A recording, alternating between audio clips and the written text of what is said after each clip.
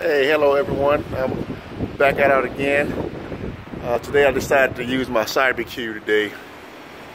And uh, I got two briskets on and uh, some ribs.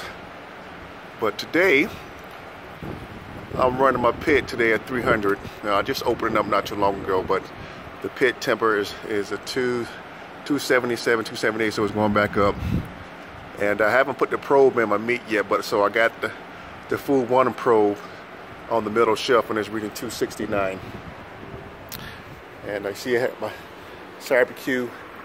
I'll be turn this down just a little bit so I'm go half open. You know, so that's the that's the way I usually run it. Uh, today I got my my firebox today. I'm running lump charcoal, hickory lump charcoal, and uh, a split wood. So you can see it's already died down. But it's doing pretty good. Now I'm going to add my second my second split. And it's been about two hours. And it's been running pretty good. And this is all I do. I just stick it in there and then uh, it, it'll catch real soon. It'll catch. Push it back in. Oops, sorry about all the movement. But you can't hardly see it.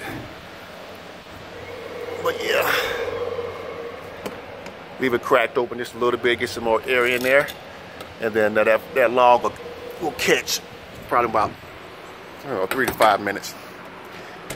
And the chamber, chamber today, two big, two big uh, briskets. This one right here is a uh, 14, 14 pounder. And the little one over here is a 12 pounder. You know, just a little quick note. I usually put uh, potato in here, you know, and put my probe in there to keep it from falling down in the in the in the, uh, in the grate.